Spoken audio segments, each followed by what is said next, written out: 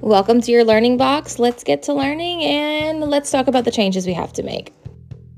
If you're new here, I always give some great recipes for the week that's upcoming, some planning, or just some day in the life of what's happening in our life. This week, you definitely have three solid recipes and some updates. Smile! My fridge needs cleaning, but here is it with the stew. So you see kind of my progress of during the week. When I start, I always keep it much more clean. So here's fridge one. I know everyone loves to see it. I don't have no room for these, so they're in here. But there's that. Freezer, pretty stocked, honestly. I need to do some more food. Let's see the next one. Staying. Okay, buddy, you're not even eating the strawberries. Every year I say I'm going to video us and the progress we make on their cakes. So here is Eliza's birthday, and she chose a strawberry cream cheesecake with real strawberries inside. So here it is. And then she, of course, helped me decorate it and she picked out everything. It started off as a unicorn cake, then it morphed into a little bit more. So there's her cake.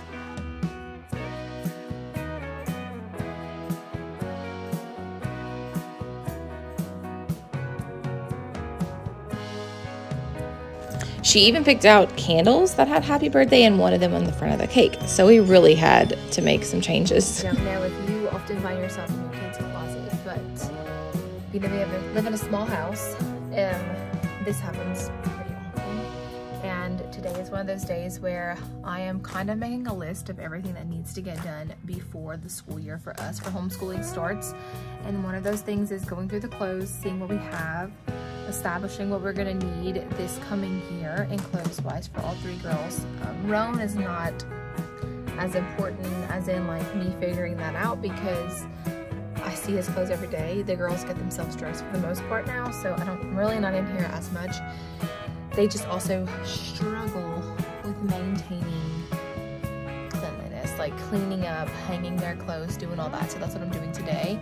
Um, I'm actually being cooking. We're just going to reheat some food and have leftovers for dinner because I want to get all this done. And it's, um, I think, 206. So that's some work to do.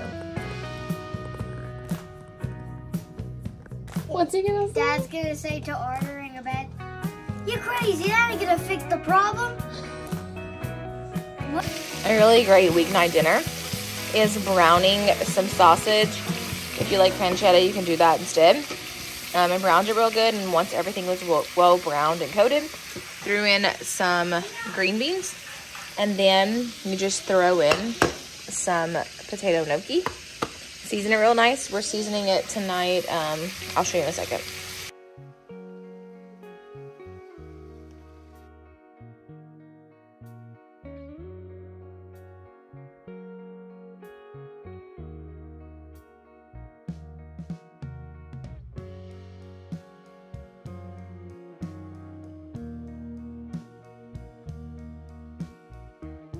We're definitely getting to the stage where he wants to do everything. And at this point, I think this guy can make a pretty good double shot. So he is helping me do all of my coffee this morning as we prepare for the day. We had a pretty solid day. I had to catch up on some clothes and uh, we decided to, I made a list of all the things that I wanted to do and get done with the house.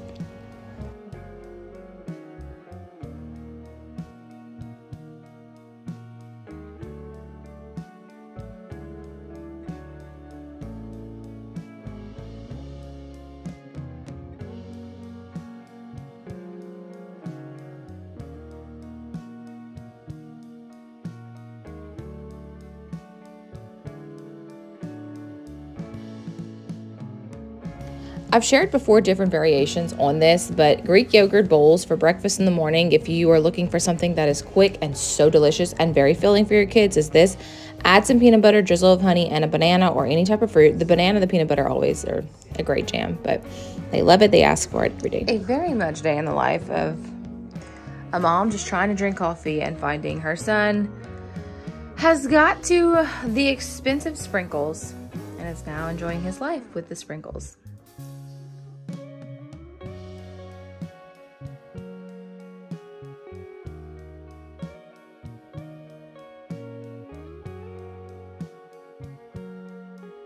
So I decided to make three things of sourdough today, as you can see here. I'm not sure if I uh, videoed the very beginning, we'll see. But I decided to make three things of it. I love starting the weekend with fresh sourdough and the beginning of the week with fresh sourdough. If this lasts until Monday or Tuesday, then that means Wednesday we'll have some more and I'm not having to buy bread in the store, which makes me feel like crap. Kids, I noticed some very like puffiness, inflammation. So what I was gonna say was, I do plan on showing you at some point uh, me doing it. But until then, I am just gonna tease the heck out of you because it's fun. Uh, and I'm learning a lot right now.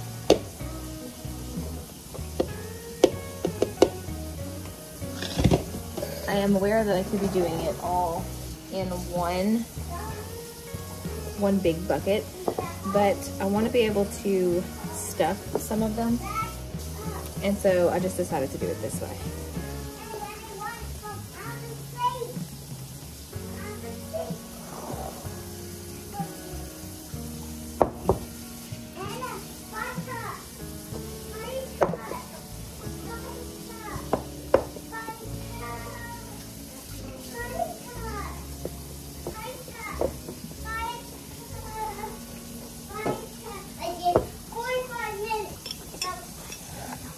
Trying to break the idea of having to do everything in grams and like weighing everything. So today I did it um, based on just my feel for it.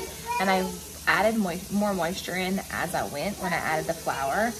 And I love the texture so far. You can see some of them are more stretchy than others because I think some of them have more flour. Um, I did write my notes down on it, but I'm anxious to see how this method works. If you can show you.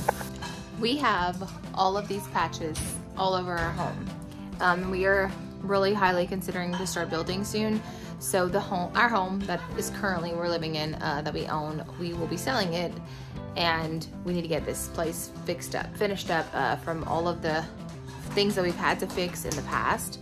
So you will see me working my tail off soon taking care of this house because I want to have helping hands. I want to take some load off of Daniel even though he really doesn't want me to. Um, so we actually have not had a bed in a very long time. So I am so eager to finally patch, like fix all these things and we ordered a bed last night so we're gonna get a bed in here. It's gonna look like a real room again. Um, and then the bed we'll be taking to the new house. I wanted to wait and make sure like what I wanted was what I wanted for the new house, but since I know we're about to get there and start building, I know what kind of bed I want. And so we ordered it and that'll come with us. Um, and there's a few other things that are gonna come with us and a lot of things that are not gonna come with us because we just wanna kind of restore it. Like our couch, for example, it's, it's, it's lived its life. It's time for it to go. So I'll take you along for the rest of the day, kind of share some here and there's. Um, and soon I'll be having a full homeschool vlog and a homeschool like, hey, this is my schedule that I'm hoping to follow for homeschooling. Um, and kind of like what curriculum we're choosing. It's gonna be the same, some a little bit different, um, but the majority is gonna be our way of doing things. Uh, the new house will not have a classroom until we can build one separately. So we'll be working in the dining room in the beginning. So I'll just be outfitting the dining room to fit like a classroom in the beginning and we'll eat dinner more than likely around the island until that can get straightened. So, so you can definitely see like the work here. There's ceiling work that has to be done. We had some AC stuff that happened and that all needs to be fixed and re repaired. We are not replacing the popcorn ceiling. It's The walls are gonna be fixed, but the popcorn ceiling is gonna stay the owner, the next owners can remove that at the at the time of um, wanting like them buying the house. We are undecided if we're gonna like offer something for it. Anyway, all that to say, for homeschooling purposes, uh, we are hoping, I am hoping if we start building when we do, that is going to be such a good lesson for the olders and the youngers. Like they'll be able to experience building. They're gonna learn from the ground up what has to happen. We're talking about foundation, we're talking about actual structural things. I wanna learn, I wanna be able to teach them. They're gonna learn the whole process of building a house, which I am extremely excited about for them. What an awesome experience to go through, especially like we can go right out there, see the people working on the house, walk around the house from the start. Um, and then they'll be able to pick out their own bedroom. The kids will be sharing a room at this point in time with the house design that we have selected, but it's still gonna be such a good experience. Out on the land, that's when we'll start gardening. I feel like science and all these extras are gonna come with this. So that's kind of my plan. Now, Anna does want to do social studies really badly. She wants to learn about history. So I think we're going to go ahead and just jump straight into the Good and the Beautiful history curriculum this year and kind of see how advanced it is. So they're being extremely loud. Um, I am hoping that we can just jump into it and we can all learn together with the with the social studies or the history part of it. If not, I will do some different type of science.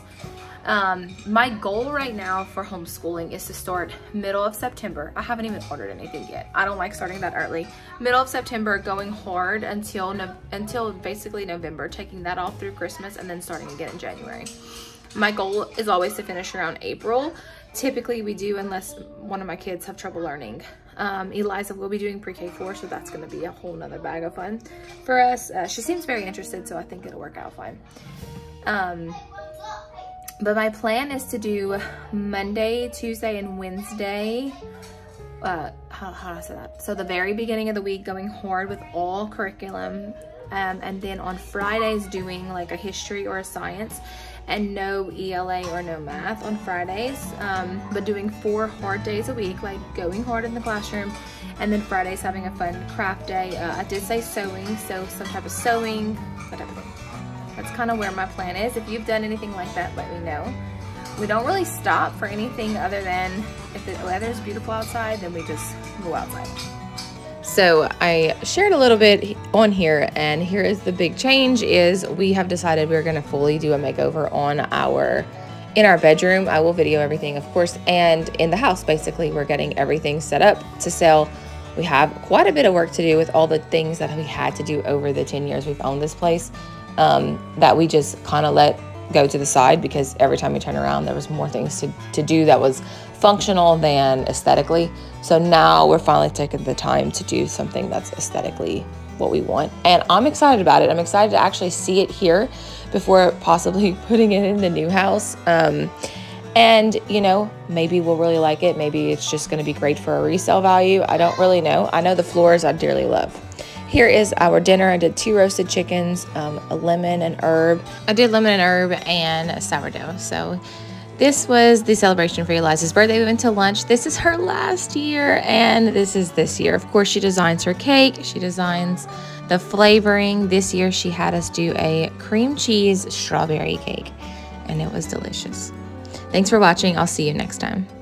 If you haven't subscribed, please subscribe. I'd love to see this grow and I'll see you next time.